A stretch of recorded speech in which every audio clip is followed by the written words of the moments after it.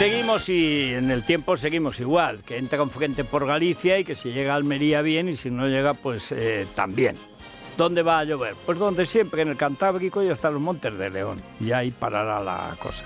Temperaturas muy parecidas a las de ayer, 16 de máxima en Madrid, la máxima nacional otra vez Santa Cruz de Tenerife y otra vez Murcia y otra vez 24 grados y la mínima hoy Cuenca, 0 grados. Bueno, ya saben ustedes que este gobierno se compone de gente que en general a duras penas pudo con el bachillerato actual, no hubiera podido nunca con el bachillerato clásico, no digo con los siete años que estudiamos antes, de bachillerato, seis y el preu, luego COU, no, no, vamos, es que no hubieran podido con la escuela primaria, es que sumar y restar se les hace realmente muy difícil, es que no entienden la relación de la palabra y el número, por ejemplo. Cuando dice Pibili Juerga, dice contra la corrupción, contundencia cero. Ella no sabe que cero significa lo mismo que nada. El cero lo inventaron los, los hindúes y es la base de la matemática moderna. No me hagan explicárselo porque me cuesta, pero en cambio Alicia Delibes, que la tenemos de invitado hoy por este libro, este es el libro más importante que se ha publicado sobre educación en los últimos tiempos en España, sobre el desastre de la educación y sus raíces. Luego la, vendrá al estudio y hablaremos con ella. Pero cuando hay gente que ya hasta sus maestros tienen faltas de ortografía, pues claro, la cosa va mal. Si encima eh, el que habla es un eh, protodelincuente, es un semoviente, es un tío que era portero de un puticlub llamado Rosalex en Pamplona, con el frío que hace en Pamplona en invierno. O sea, y este es el hombre de mano, como se decía antaño, y para los trabajos sucios de Ábalos, pues claro, eh, yo creo que va a ser un festival. Dicen que las comisiones no van a, servir de nada. Ver a Coldo en las Cortes y que nos convenza de lo que trata de convencernos de lo hoy en la entrevista en el mundo. Es que la he leído y me he quedado no atónito, porque teniendo a Oscar Puente, a Pilar Alegría, a la portacoz esta hora del PSOE como Peña, ¿no? Esther Peña. Esther Peña, madre, mía. Pero, pero eh, debe haber un yacimiento inexplorado de cenutrios y cenutrias en el PSOE, en, algunas, en algunos estratos inferiores de provincias, que es inagotable.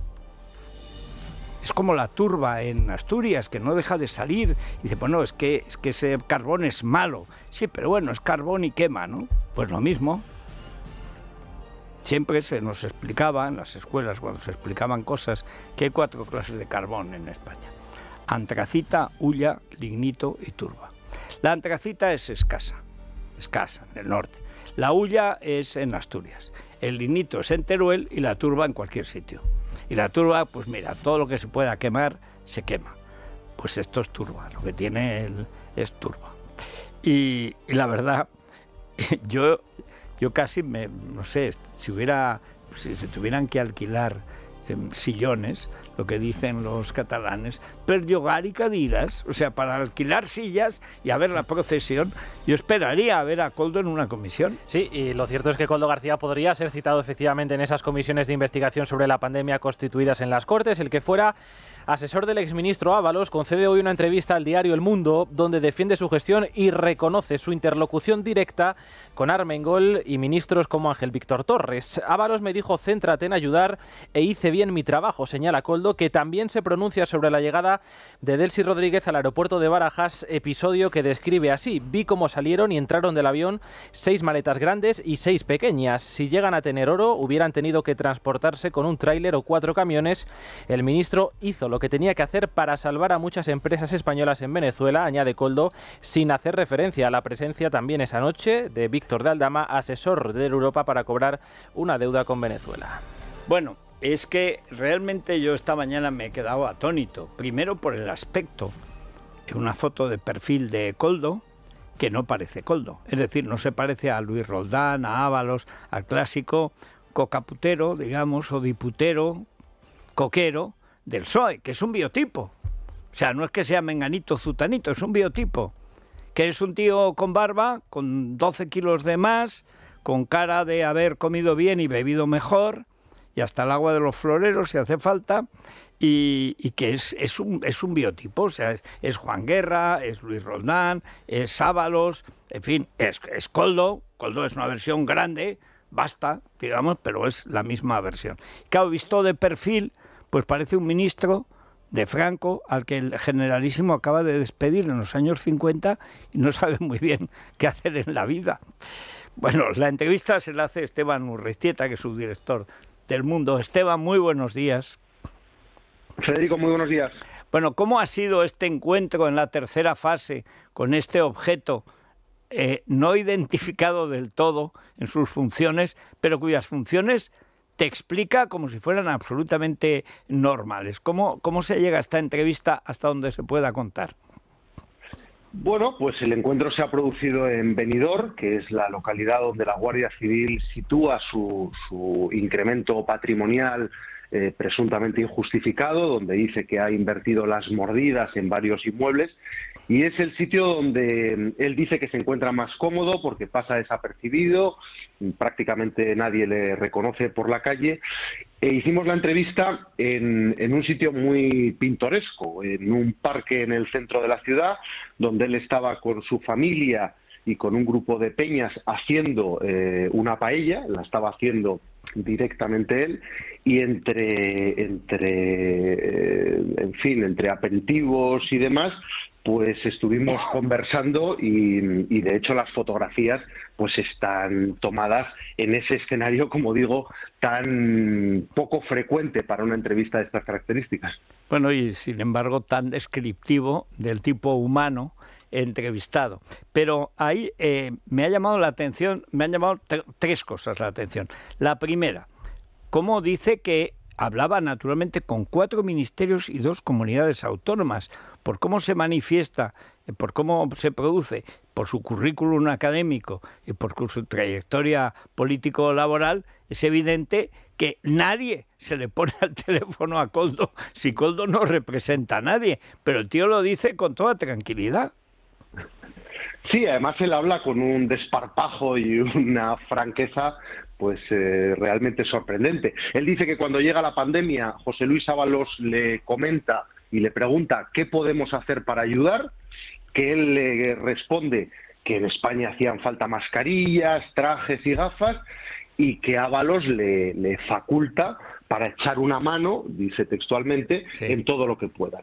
Eh, a partir de ahí, él lo que explica es que empieza a pedir presupuestos a todo el mundo.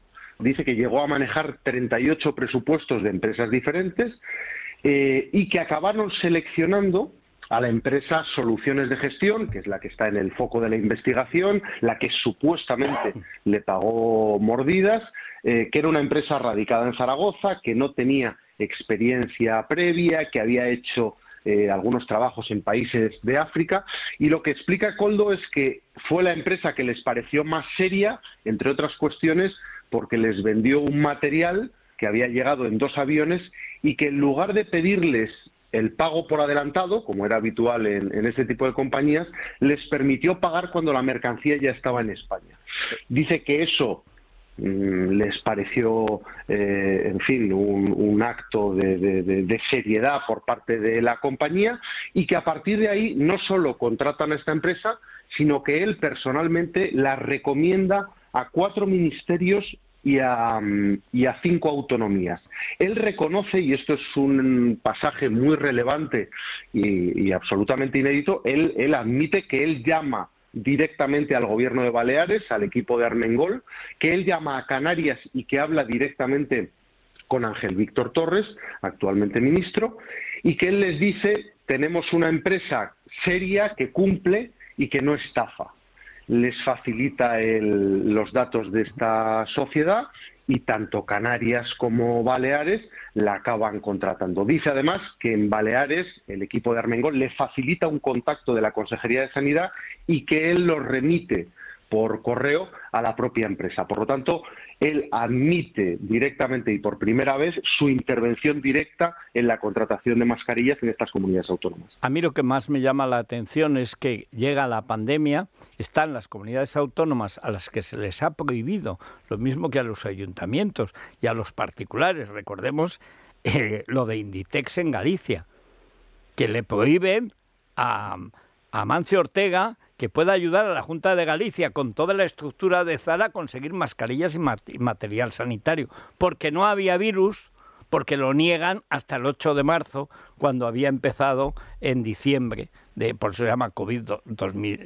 2019, eh, porque empieza en diciembre en China en diciembre de 2019 y es epidemia mundial eh, reconocida por la Organización Mundial de la Salud el 31 de enero o el 30 de enero de 2020. Es decir, que es mucho tiempo después. Pero ¿quién era Coldo para que le dijera a Ábalos qué podemos hacer? Era experto en materia sanitaria, era, era sabio en logística, era perito en empresas de algo que, como se vio después, no sabía absolutamente nada, nadie, porque lo que contrataban era basura, como la de... Pero tú lo has visto de cerca. ¿Tú crees que este hombre puede tener criterio propio de algo?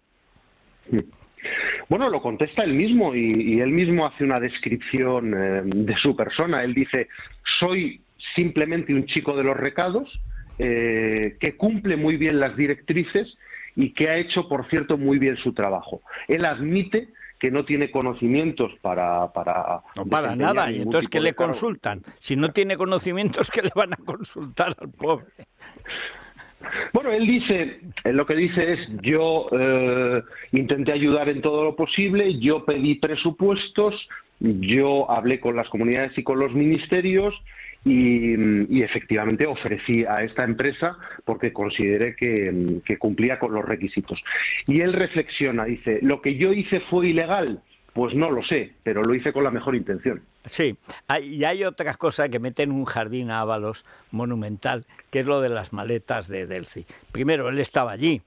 Segundo, en las propias versiones de lo que sabemos que pasó allí, hay nueve versiones de Ábalos, todas falsas, once, según la voz de Asturias, todas falsas, todas contradictorias, y ahí estaba también Aldama, el, el hombre de Begoña, y ahí que se supone que estaba contratado para recuperar eh, eh, el dinero que le debía, pero había un problema con la moneda, porque la moneda de Venezuela no vale nada, eh, era un lío que le debía a Europa y por lo tanto a Javier Hidalgo, que es el, el otro, el trío de San Petersburgo, que son Aldama, Javier Hidalgo y Begoña Gómez, señora de Sánchez.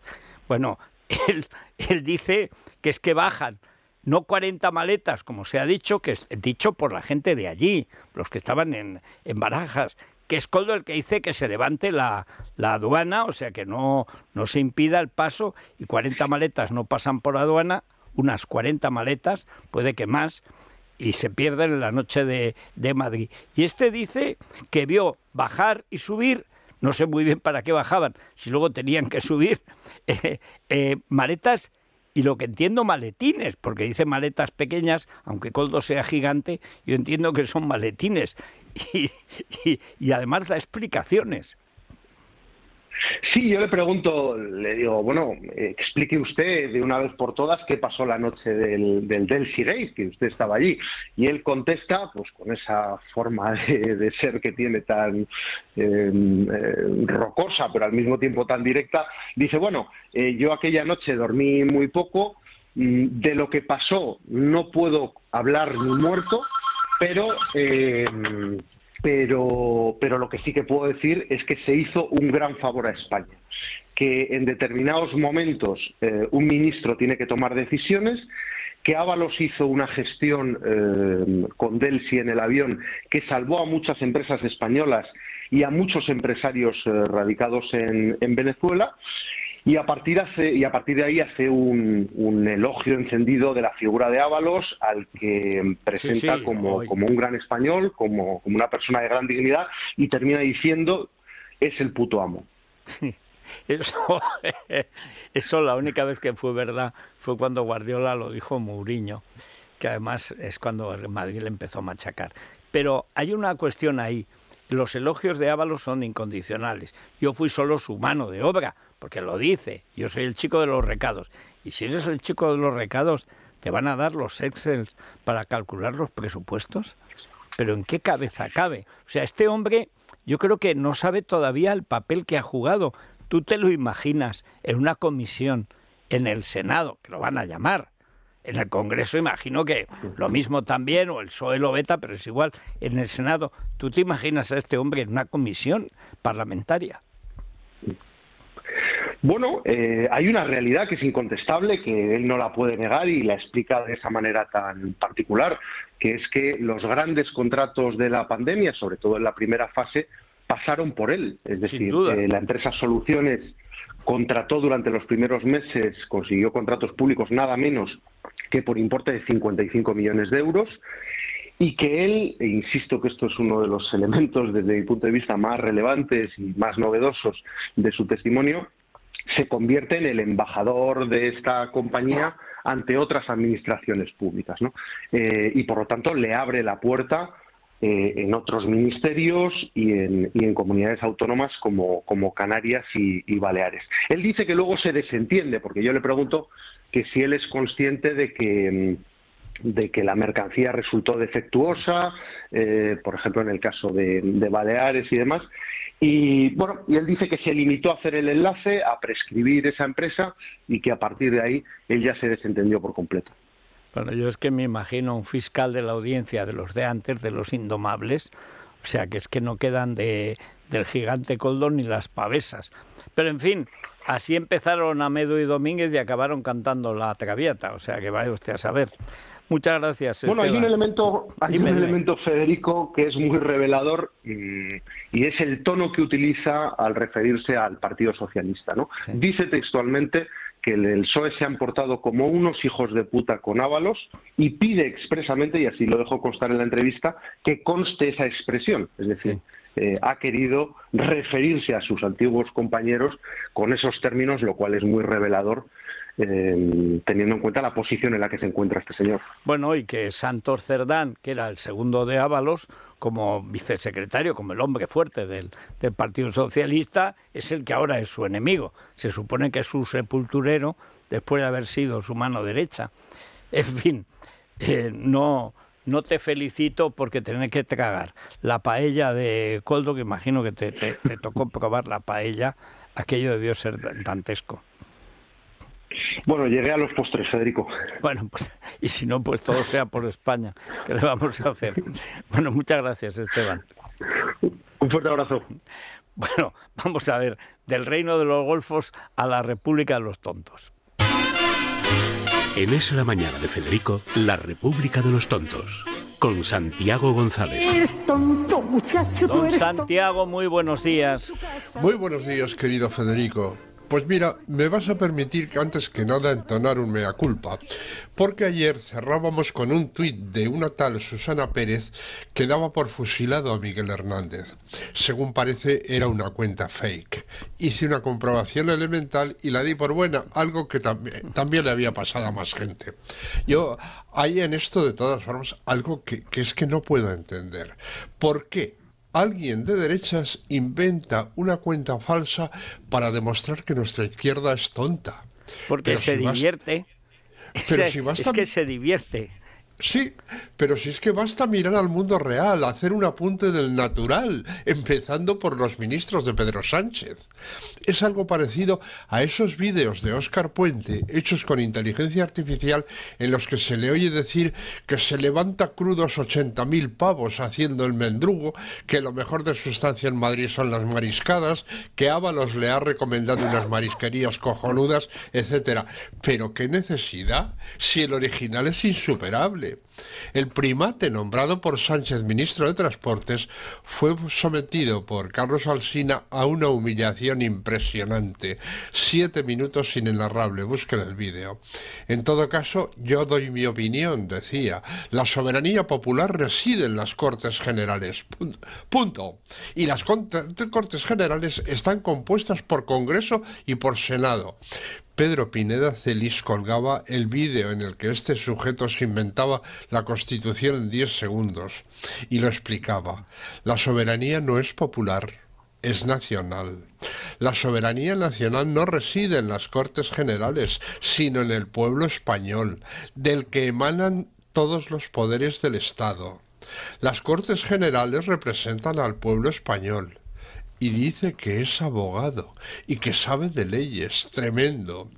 Claro, que a las virtudes intelectuales suma Óscar Puente su fanatismo y su tendencia a la malversación, tal como señala Froilán I de España en X, al reconocer que está malversando dinero público, ordenando a su equipo que lean las columnas de opinión en las que se le insulta para hacer un listado con ellas le he encargado un trabajo a mi equipo, ¿no? Que cojan todas las columnas de opinión en las que se me insulta con todo tipo de insultos, físicos la mayoría. ¿Qué le vamos a hacer? A Pedro Sánchez se le insulta por guapo, a mí por feo. ¿Y eso qué interés tiene para los ciudadanos? le pregunta Arsina. Eh, pausa desconcertada. claro que lo tiene, claro que lo tiene. Y desde luego lo tiene para mí. El gran Antonio, el gran Antonio Portero aportaba su grano de arena.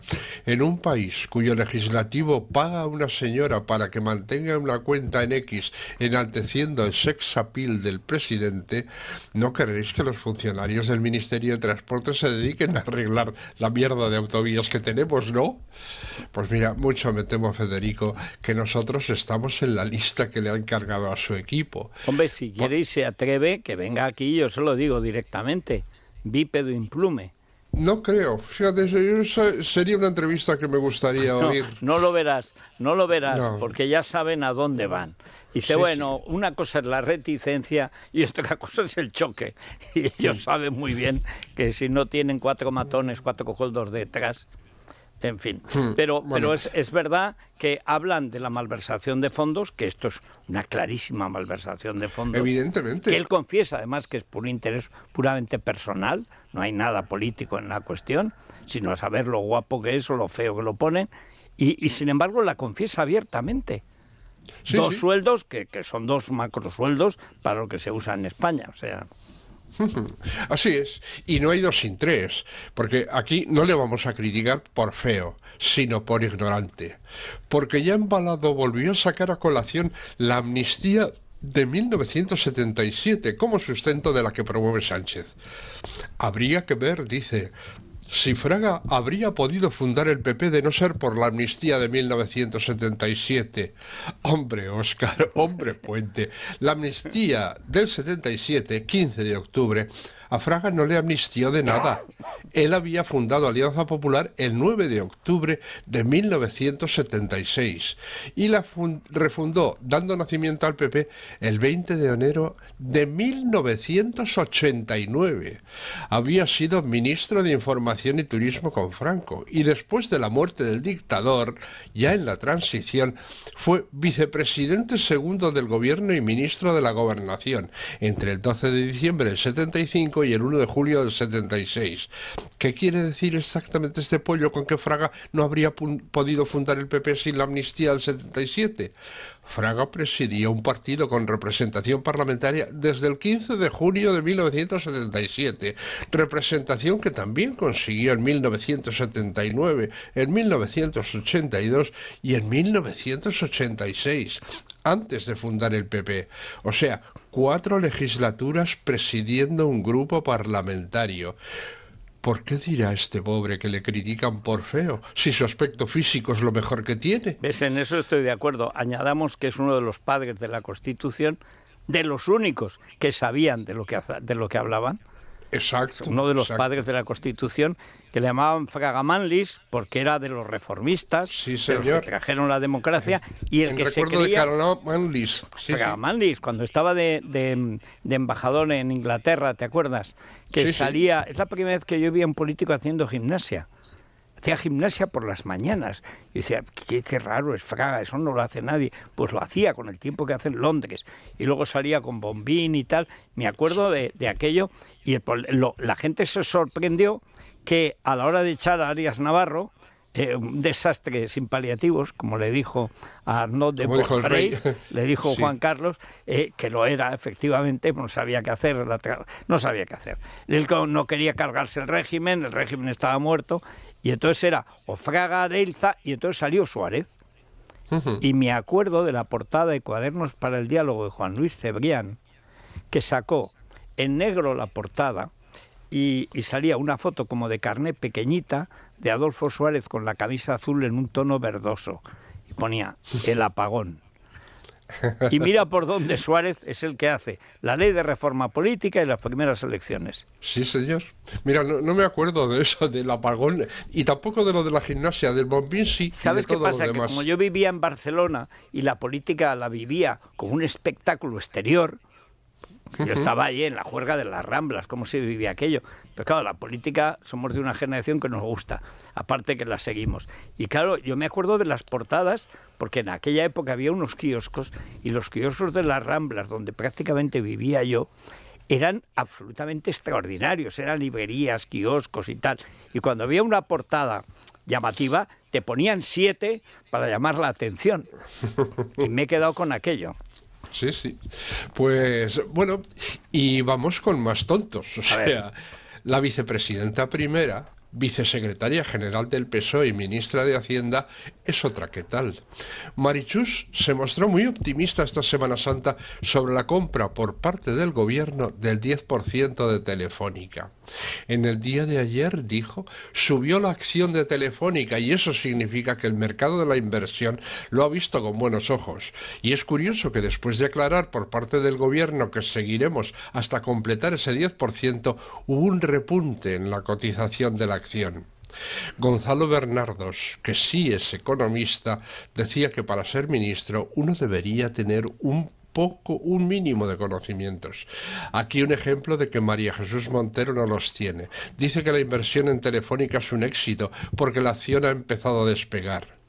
Primero, los inversores no son idiotas. Si de repente aparece un gran comprador, adquieren acciones de la empresa antes de que el Estado haya desembolsado el importe porque después bajará la acción. Claro. Dice, el orden es, primero se compromete la compra, y después se anuncia.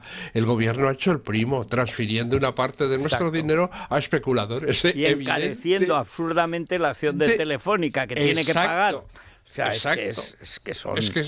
no, no, son, no hay espacio para más. Pero además de María Jesús eh, Montero y Óscar Puente, fíjate tú, si tenemos siguiendo por Yolanda Díaz, Sira Rego, Mónica García, Pilar Alegría, Ernesto Urtasun, Bolaños, Marlasca, Ana Redondo y cualquier otro, u otra naturalmente. Vale decir Pedro Sánchez y aquí su señora, la de Sánchez, naturalmente. Es verdad, yo privilegio en el capítulo de tontos eh, no odiernos, no modernos, porque son todos eh, odiernos, el de ahora mismo, lo último que demuestra que efectivamente la historia de broncanovirus OE esto es porque tiene una obsesión con el hormiguero y con Pablo Motos. Pablo Motos cuenta que ha estado en el SA haciéndose unos tratamientos. Yo he estado en el SA, es un sitio extraordinario. Eh, y, y entonces se mete con él. Y dice, esas cosas que se anuncian no son verdad, pero vamos a ver, son merluza. Primero, si, si son una estafa, tiene que denunciarlo el ministerio correspondiente. Segundo, que no es una estafa, lo muestra eh, primero la cantidad de gente que va. ¿Sabes cuál es el criterio del SA para que no se amontonen? Ninguna nacionalidad que tenga más del 24%. Tú fíjate cómo tienen que eso. Bueno, y es un sitio eh, magnífico. Entonces cuenta, pues, alguna de las cosas que se hace Pablo Motos, pues, para estar en forma con esos tutes que se pega y luego ver a Pilar Rubio todos los días, que quieras que no es una impresión. Bueno, pues va y se mete con el centro. Dice, pero vamos a ver, primero, ¿usted qué sabe? Mema médica, madre, ministra y tan mema de ministra como de médica y de madre. Si usted es médico, vaya primero allí, y si hay alguna estafa, denúncialo. ¿Pero qué vas a denunciar? Si es que ella ni imagina los médicos que hay en el SA. Eh, en fin, es una cosa, pero, pero qué obsesión tienen con el hormiguero, con trancas y barrancas. O sea, yo, yo, a mí me asombra. Bueno, claro, debe ser que piensan que si le derrotan, entonces ganan las elecciones tienen obsesión por todo lo que no sea exactamente igual que ellos. Pero bueno, fíjate la obsesión que tienen con, eh, Isabel Díaz Ayuso. Que, bueno, eso ya es mañana, mañana hablaremos un poco más de eso, porque eh, Lobato, Lobezno o Lobizón eh, ya anunció una, una medida radical del PSOE contra la, contra la corrupción. Bueno, lo del sumemos y restemos es mejor. La que han puesto después de Mema, que es todavía más tonta, Sí, ayer. Es que es casualidad que todo el entorno de la señora Ayuso se haya haciendo rico, se, Se haya ido forrado. haciendo rico. Bueno, es que Sí. todo lo que habéis acusado se ha demostrado que es mentira. Exacto. Ni el padre, ni la madre, ni el exmarido, ni el hermano, ni el novio. El novio. O sea, Sí, sí. me- me- es que, es que- pero, pero les da igual. Les da Oye, y lo decía con una facundia que es, es asombroso. En fin, ¿qué le vamos a hacer? Bueno, bueno, pues, pues- esta- estaremos al loro. Hasta mañana, si Dios quiere. Hasta mañana que será otro día. Bueno, si les duele algo hay motivos. Y Budol. A ese dolor de espalda que no te deja hacer deporte o a ese dolor de cabeza que te hace difícil trabajar, ni agua. Ibudol, el primer ibuprofeno bebible en stick pack para aliviar el dolor. También Ibudol en comprimidos. Adultos y niños a partir de 12 años. Al dolor, Ibudol. Tenía que ser de Kern Pharma. Lea las instrucciones de este medicamento y consulte al farmacéutico. Es la mañana de Federico, con Federico Jiménez Los Santos. Bueno, el otro día comentábamos cómo los productores de, de aceite de oliva, la- el buen aceite de oliva virgen extra, que hay que consumir, le remitimos al podcast de ayer de Alberto Fernández, donde dimos todas las claves de cuándo es bueno el aceite, cuándo es bueno freír, cuándo se debe dejar de freír con aceite de oliva y si se puede mezclar. ¿Se puede mezclar? Claro que se puede mezclar.